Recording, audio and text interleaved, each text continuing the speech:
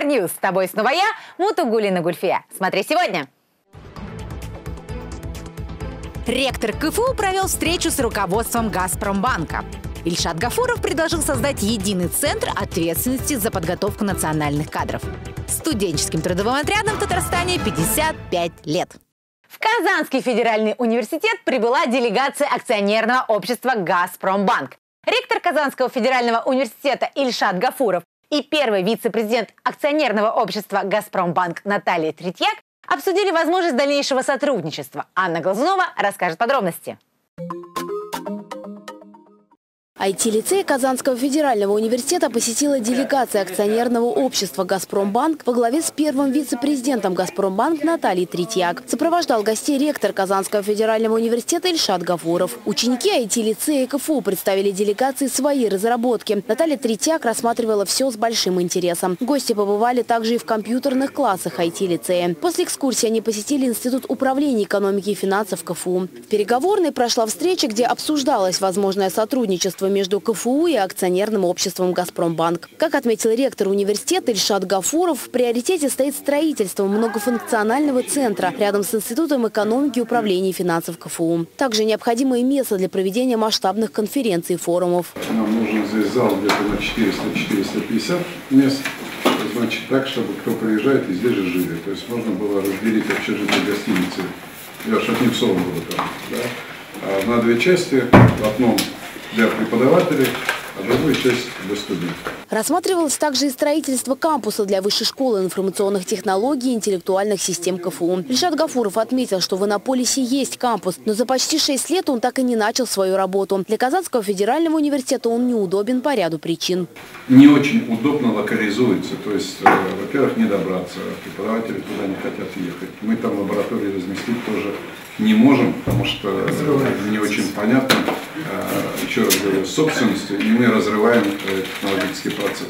В городе э, есть один технопарк IT, но он сегодня перегружен. Наталья Третьяк поделилась, что «Газпромбанк» уже реализовывал удачные проекты в сфере образования. У нас опыт в ряде регионов по строительству детских садов и школ. А с вузами у нас несколько сложнее, но мы тоже эту работу начали.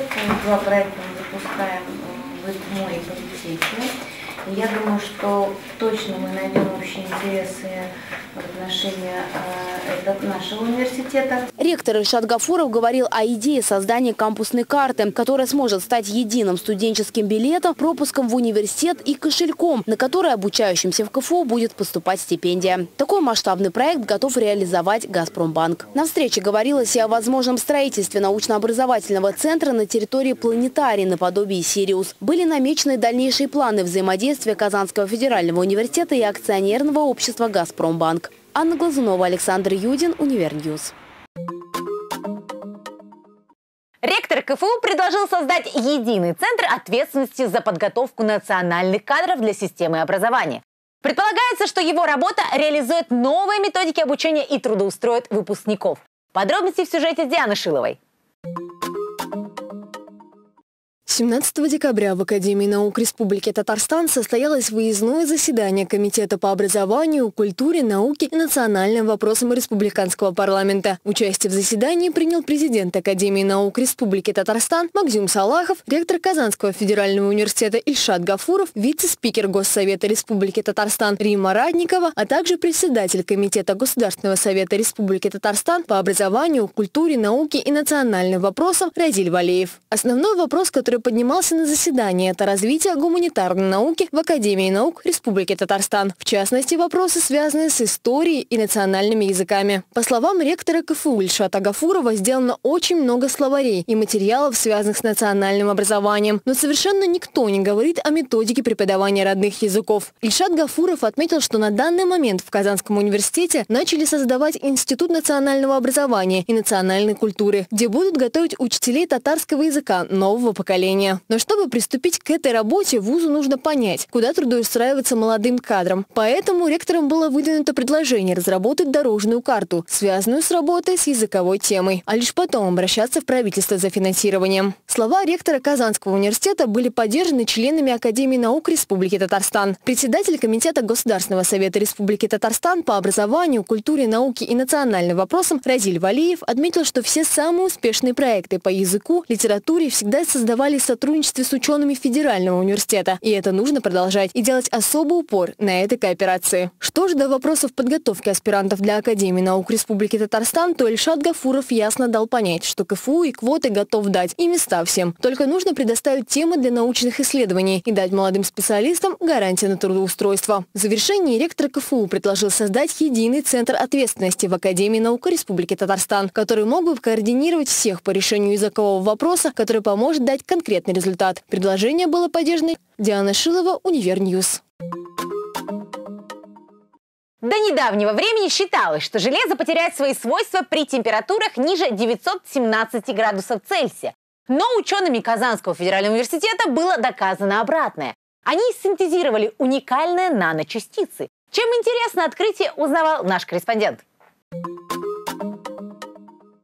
Молодой ученый Алина Валимухаметова вошла в число стипендиатов Академии наук Республики Татарстан на осенний семестр 2018-2019 учебного года, представив на конкурс свою работу «Рост наночастиц палладия на поверхности оксида графена». Алина занимается исследованием не только наночастиц палладия, но и наночастиц железа. Недавно группа ученых, в составе которой она работает, вместе с коллегами из Германии сделала научное открытие. Получила стабильное при комнатной температуре гамма железа. Железо, которое нас окружает, оно имеет объемно центрированное концентрированную кубическую решетку.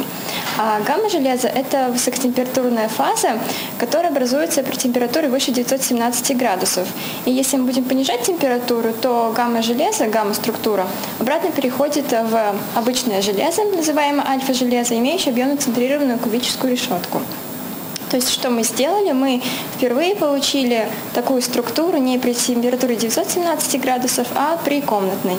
Процесс выращивания наночастиц железа достаточно сложный. При повышении температуры от комнатной до 900 градусов железо проходит разные стадии, в результате чего появляются аморфные соединения, оксиды, альфа-форма и, наконец, гамма-форма. Если температуру уронить ниже 0 градусов, у нас вода будет находиться в форме льда. Если поднять выше 0 градусов, она будет находиться в форме жидкости.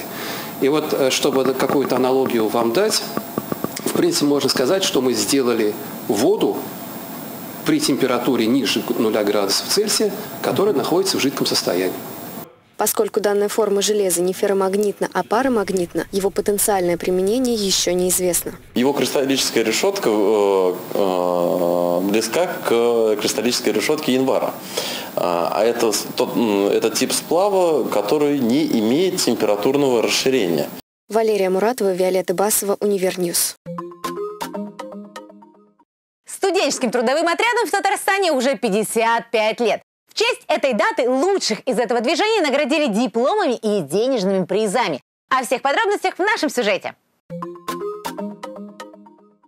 В здании Казанской ратуши прошло торжественное заседание, посвященное 55-летию движения студенческих трудовых отрядов Республики Татарстан. На мероприятии состоялось награждение лучших из отрядов. В заседании приняли участие заместитель премьер-министра Лейла Фазлеева и министр по делам молодежи Республики Татарстан Дамир Фатахов. В ряде номинаций участвовали представители Казанского федерального университета. В студенческих отрядах КФУ задействовано 200 человек. В летний период ребята устроены проводниками, строителями, вожатыми и по другим профессиям. А в течение года они участвуют в мероприятиях Казанского федерального университета и своего штаба. Штаб студенческих отрядов Елабужского института КФУ также участвовал в конкурсе. Студентка четвертого курса Лайсан Ибиниева стала лучшим комиссаром студенческих отрядов Республики Татарстан. Комиссар занимается сплочением коллектива и привлечением новых участников движения отрядов. Эта награда, она присваивается за всю работу за 2018 год, поэтому всю работу мы делали вместе. Это прежде всего первый, второй Закамский слет студенческих отрядов Республики Татарстан.